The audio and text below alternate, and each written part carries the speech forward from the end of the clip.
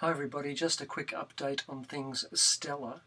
Uh, tomorrow night here in Melbourne, Australia, the International Space Station will be passing overhead. Uh, okay, that might not seem anything out of the ordinary to you, but it has recently had fitted some new solar panels and they are going to make it much brighter than normal. It will be down to minus magnitude 3.3, which in normal language means it will be only just less bright than the sun or the moon and the only thing that occasionally would get brighter is Venus.